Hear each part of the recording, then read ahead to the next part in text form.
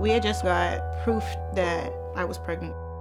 I had to get my prenatal pills, so we went to Rite Aid. The Caucasian man walks up, pushes Dantes into a shelf, and runs through the store screaming he's got a gun, he's gonna kill him. That was the love of my life and always will be. It was dusk, so it was still fairly bright. We come out the store, a cop car approaches him. They told him to put his hands up, and he wouldn't because he was telling them, I didn't do anything. Can I talk to you personally? He was asking to speak to them, and they tried to tase him, so he ran. I'm walking on the street, and I start to see the helicopter. I hear bed. I turn around, and he's running to me. He grabs my right arm. His hand slips out my arm. And they just start shooting him.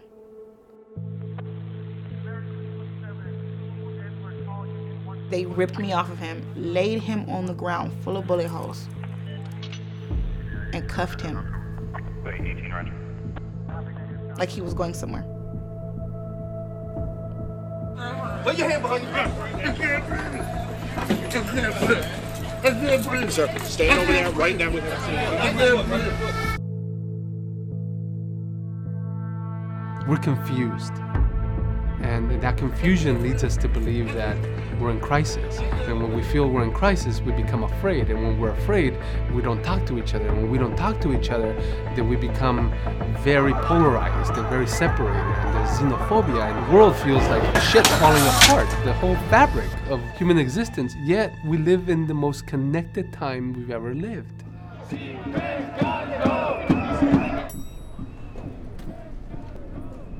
I consider myself a representative of the city that engages the public and help people in those communities understand the power that they have to mold and shape the city. I don't think there's been an increase unjustified use of force by the LAPD. I think there's more attention to contacts that end up being negative. In Los Angeles, we have historic lows in crime, yet these incidents seem to be prevalent. They're part of the American landscape now. There are times we do some things in law enforcement where we're just straight wrong. And what we have today that we didn't have 20 years ago is a communication system that brings it all together and makes it seem like law enforcement across this entire country are corrupt, brutal, lying uh, thugs. And that simply is not true.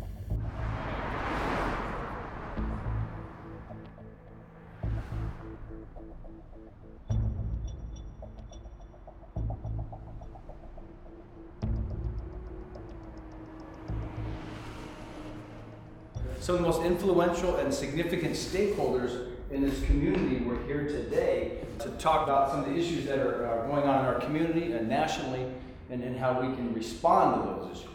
Mucha gente de mucha influencia vino se reunió en la mañana hablando al jefe de la policía acerca de las situaciones que están pasando aquí. And I would argue that the solutions begin with you. Yo digo que las soluciones comienzan. It's up to our faith-based leaders, our educators, our parents. This is a very difficult time for policing. Este es un tiempo bien difícil de hacer este trabajo. And when you go in front of that police simulator, which has to do with instantaneous decisions, you'll see how difficult it is.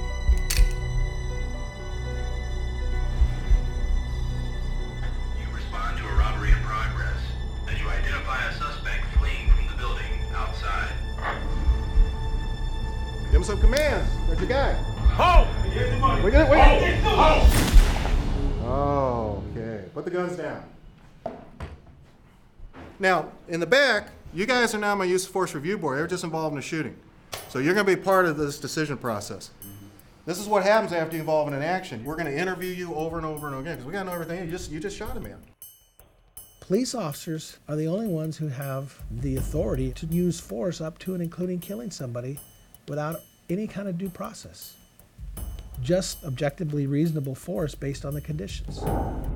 What kind of situation did you have? Robbery suspect. Is it likely robbery suspects are going to be armed? Most likely. Most likely. What happened when you encountered them? Ran toward us and threw a bag. That's a huge piece of power. It takes a while for you to learn how to manage that power. Is that bag likely to cause great bodily injury or death? Uh, great bodily injury, death, broken bones or death? No. no. No. Do you think you were authorized to shoot him? Yes. Yes. I can tell you within our policy, we would not be authorized to shoot him. In that situation, he is not a deadly threat. He is a threat. You have a right to use force. But is it, would our policy cover the use of deadly force for that? No. We've seen really great conversations come out of those community training days because it surprises people how quickly things evolve in a use of force situation. Something happens instantaneously, and you have to decide in a split second what you need to do. Every officer put in that situation is going to react differently based on their comfort level. We hire from the human race, you know what I mean? And we're all trained, we all get the same training, but everybody's individual perception is going to be different. Ready!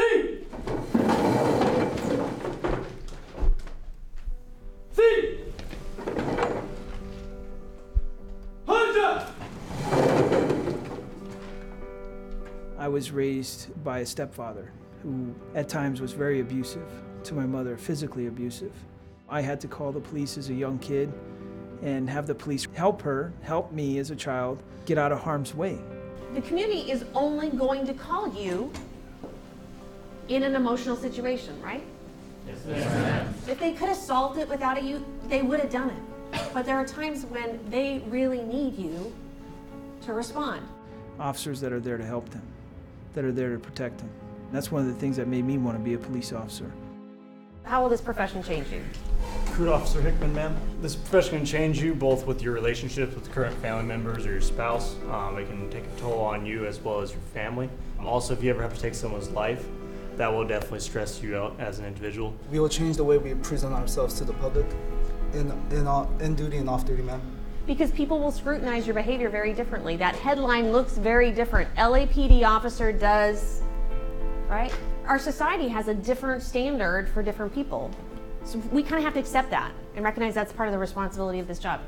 We have to find a way to prepare people for the most horrible, horrific situations and yet keep their humanity. It's unrealistic to think that an officer, because he took a training, is going to now go, okay, I'm free. God, thank goodness I took that training because now I'm free of bias.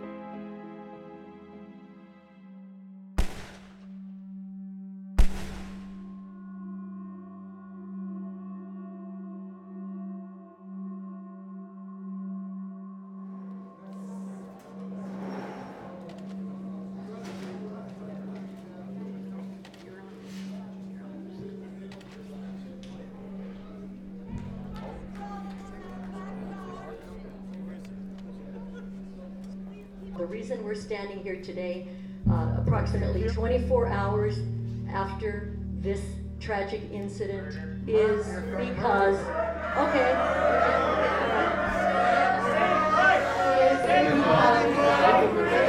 We're gonna get right. We're gonna get right to the questions. Why are you all hiding the video? If you haven't filled out a, a slip of paper, a yellow slip of paper for public comment, do so now. Slip! Your, your stupid imaginary slip to say something about my friend that's dead! Totally understand. Totally understand your anger. Are you serious? Completely. I get it. It's so hard. It's so hard because all you can say is, I am so sorry. And that's all you could say to anyone who, who, who lost anybody they loved. I think empathy is the engine to do this work. The pain is that empathy is not a practice of government in general. And so the way this whole system is set up, it causes the rift between the police and the community. Brendon Glenn is number 621. That's the 621st person that's been killed by law enforcement in LA County since 2000. So our first question is, when are we going to get released to us who's responsible for each of these killings and why none of them have been investigated and prosecuted? How many LAPD officers in here are wearing a body camera tonight? Raise your hand. Or body camera. Sometimes we have to be the punching bag. We signed up for this job, we'll take it. We have to. Because sometimes you just have to be there and be there. What am I gonna tell my kids growing up here? Stay away from the police. As I look at you, I'm freaked out. I'm scared. I don't want to go and talk to you about the guy punching me in the face down the block. I'm gonna go and find somebody that I know. Not you. You guys are gonna fucking find something wrong with me. Find something to charge me for. Something wrong with the way that I look. We have to recognize where we've been, where the history of our communities have been, and sometimes we have really hurt each other. And sometimes law enforcement has been used as a tool to do that. The two officers that shot him walked up to me after court and actually apologized. Even they were like, damn, we took this kid's father from him. And we didn't mean to. Like, we're sorry. So it kind of brought some kind of closure. It helped a little bit. But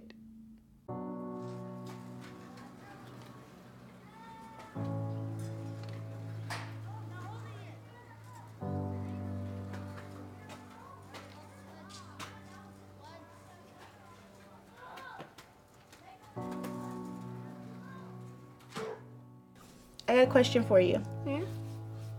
You like the police? The bad police be bad, they um, kill. They kill people? How you feel about them killing your daddy? Not very good. If we don't have engagement with each other in constructive ways, then we will continue to be in the same place. And 50 years from now, we'll be talking about the same things.